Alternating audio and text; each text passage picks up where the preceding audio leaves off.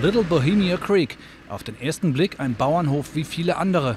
Aber die Farm im US-Bundesstaat Maryland setzt ganz auf Hightech. An dieser Feldspritze etwa kontrollieren Sensoren die Gesundheit jeder einzelnen Pflanze, damit genau die richtige Menge Dünger eingesetzt wird. Der Stickstoffbedarf auf diesem Feld schwankt enorm. Wo wir stehen, kann man 75 uh, cm hohen Mais sehen, aber es gibt auch 30 cm hohen. Also die Tests laufen noch, aber geschätzt könnte so etwa ein Zehntel Dünger eingespart werden. Das bedeutet weniger Ausgaben für die Landwirte. Nebenbei bleibt der nahegelegenen Chesapeake Bay ein vermehrtes Algenwachstum erspart.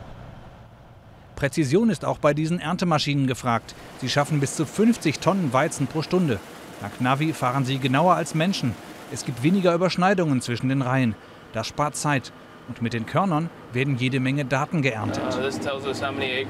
Hier sehen wir, wie viele Hektar pro Stunde wir durchschnittlich geerntet haben, wie viel Kilo von diesem Feld kommen. Der Ertrag pro Hektar wird aufgezeichnet. Fast bis auf den Quadratmeter genau kann der Bauer sehen, wie produktiv seine Anbauflächen sind. Noch genauer geht es mit Drohnen. Also Durch Multispektralkameras und Infrarotaufnahmen können wir Gebiete finden, in denen die Pflanzen Belastungen uh, ausgesetzt sind. Mit bloßem Auge kann man das nicht sehen. Den Bauern auf dem Feld werden die Drohnen nicht ersetzen, aber dank Hightech kann er ein viel größeres Gebiet beackern und das zumindest etwas umweltschonender.